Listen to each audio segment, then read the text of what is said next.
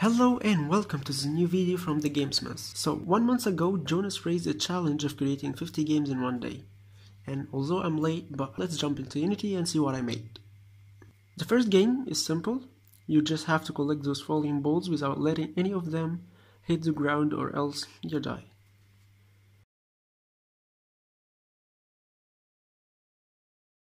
For the second game, you have to go under each of those randomly generated boxes and shoot them.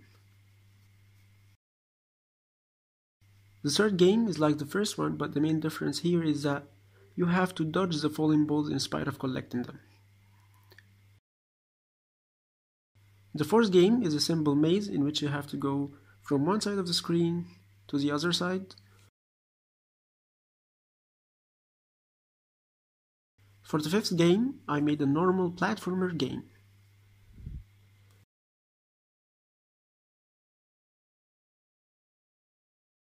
The sixth one is a quick reaction game in which you have to click on those randomly generated squares before they disappear.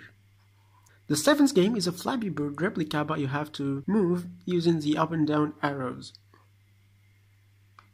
For the eighth one, it's a kinda of a quick reaction game in which you have to shoot boxes by pressing arrows relative to their location. For the ninth game, you simply have to cross the screen without hitting any of those circles. The next one is a silly one actually, but hey, I gotta do it.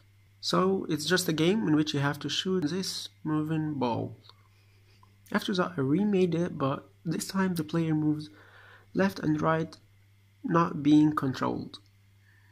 Then I made a game in which you try to move around the level collecting some randomly generated boxes. Now another Flappy Bird replica, but you have to switch gravity to control the character. For the 14th game, it's a gravity control game in which you have to collect coins by controlling the gravity effect on them.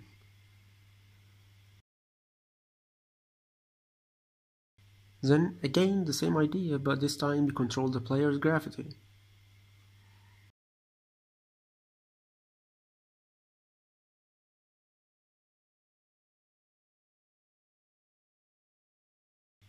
Now I'm in a game where you have to prevent circles from hitting the main core by controlling the small circle rotating around it. Again the same idea but this time you have to click on the falling circles to destroy them.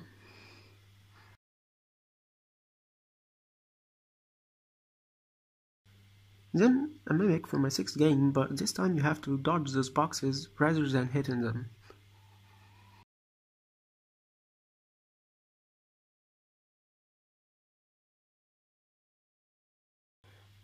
Now another game in which you have to shoot projectiles to the other end of the screen without hitting the rotating bar in the middle. In the next game you shoot different color projectiles depending on the target's color by pressing left key for green and right for orange and if you fail it's game over.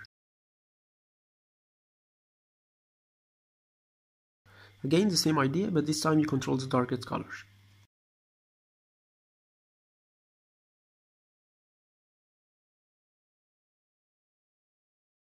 For the 20 second game, you have to click the circle before 2 seconds, or else it's game over. I know it's silly, but things become very hard at this level. Then again the same idea as the ninth game, but this time you control whether to stop or start moving by clicks. Then once more a shooting game in which you left click for a down shot and right click for an upward shot.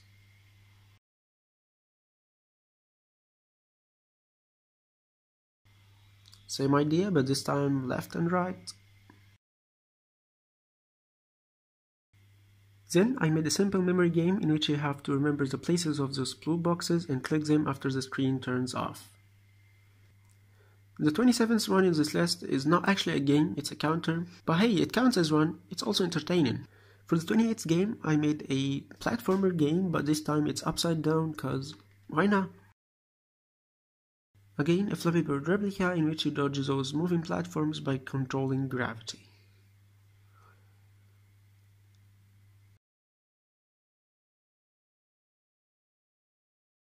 In the 30th game, you have to move those boxes to the other side of the screen.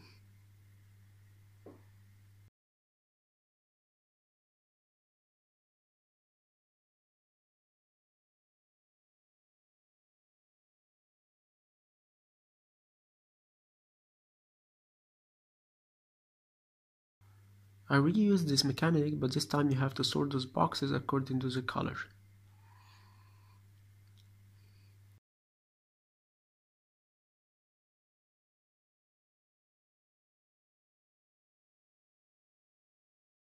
Then I entered a round of creativity, so the 30 second game is the same as the first one but upside down.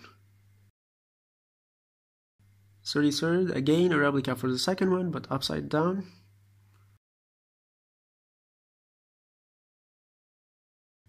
Then the same as the third one but also upside down. Then once more a Flappy Bird replica but this time a real one.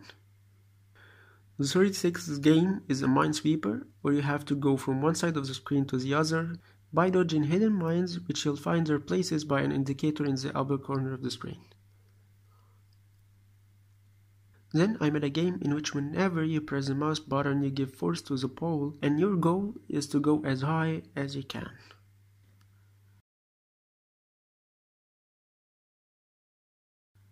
In the 38th one, you have to move those boxes to clean the path in front of you.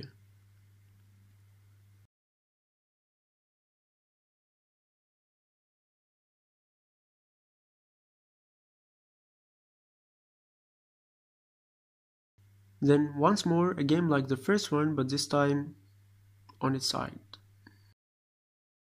For the 40th game I made an AA replica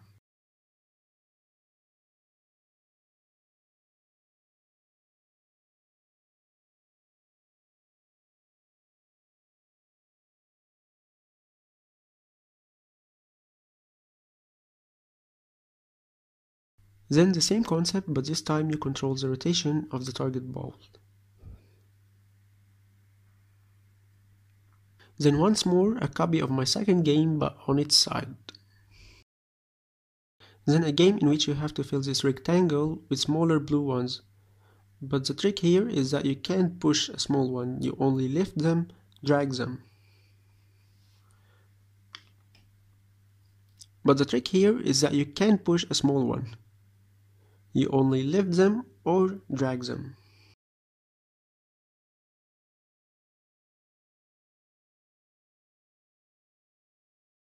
Then a simple shooting game in which you click on the target to shoot it.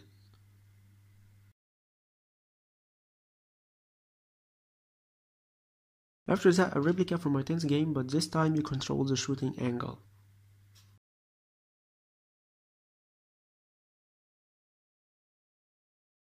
After that, I did the same idea with my 11th game. Now I made a game in which you have to press different keys to shoot different colored bullets at equivalent colored targets while aiming by the mouse motion. Again I did the same idea with my second game but now you can change the color of your bullets.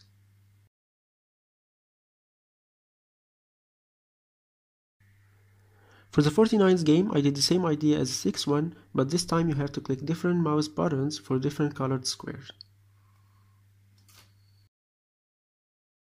And finally, for the 50th and final game of this challenge, I made a square which is anchored to the center of the screen, and you have to shoot different colored bullets at randomly generated boxes all over the screen.